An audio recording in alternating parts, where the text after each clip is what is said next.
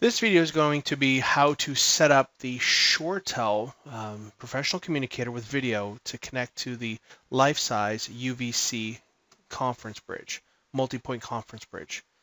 So the first thing we're going to do is we want to go to the UVC center, uh, which is the administration.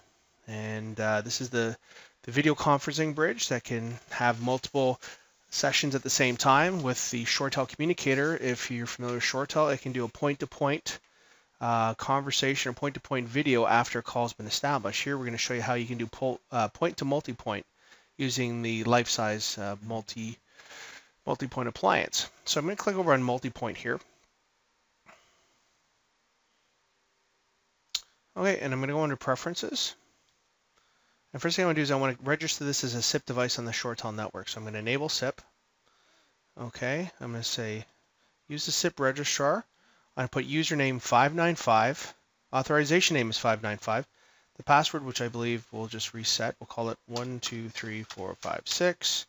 That is the uh, the ShoreGear appliance that has the SIP proxy assigned to it, and everything else is default, uh, port 5060.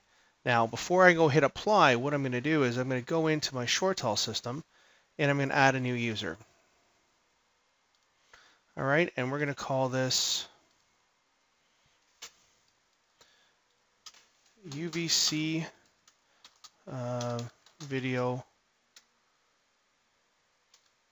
Let's call this UVC video bridge. We'll call extension 595, extension only. We don't need a mailbox. Uh, we don't need any other settings here. We're going to go down to the bottom as we're going to go back here and say the client username. We'll leave that as is. But we'll change the SIP password to 123456 and the password again 123456. On the ShoreTel, you require six characters for the uh, SIP password. So I'm going to hit save. So now we know that that is in the system. And I'm going to go over to the UVC now. And I'm going to hit apply. We'll see what happens. Now this device is actually registered. So that is now registered to the ShoreTel system. So if I bring up the ShoreTel system again, and I'm going to go into my IP phones. What I should see down here is UVC video bridge. If I click on the UVC video bridge, you see the fact that it actually has a SIP registration. So we know that it's good to go. If I take my communicator, which I can't seem to find, my ShoreTel communicator, if I fire that up, what I'll be able to do is I'll be able to dial extension 595.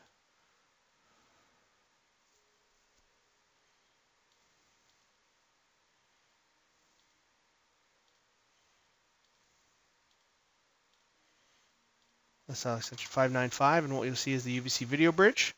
And I'll put this on loud.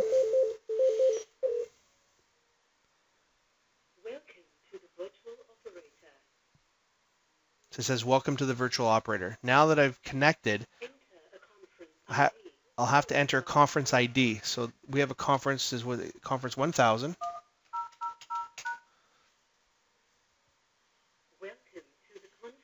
Now that we're in the conference, we have a point-to-point -point connection. Now I can click on my video and click on the video and you're going to see what's going to happen is that I am now going to connect my video to the UVC conference bridge.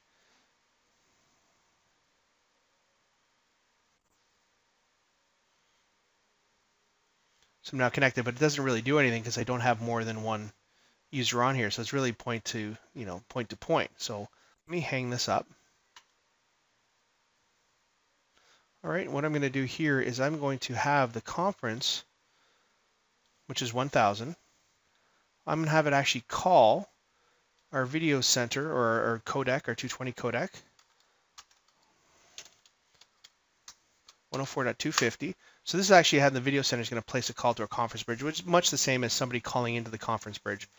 So what you see is it'll connect uh, it'll say it's connected. We don't really know just yet. We could look at it, but let's just try to call back into the video center now, and we should actually see uh, the conference room.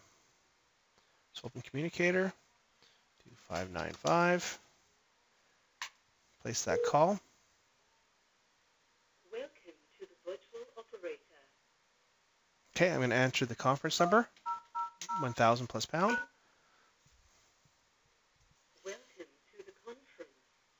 Now I'm going to start the video.